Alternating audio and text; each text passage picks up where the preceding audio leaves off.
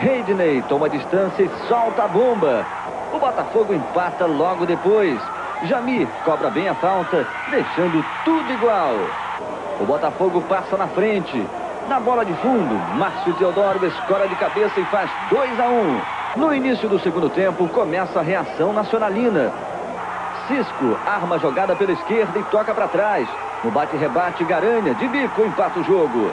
A galera do Nassa vai à loucura. E a do Botafogo parece não acreditar no que está vendo.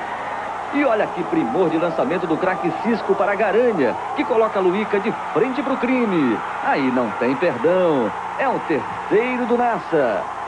O Botafogo não quer vender barato a derrota, faz beicinho e o juiz manda quatro para o chuveiro. Fim de jogo, Nacional 3, Botafogo 2.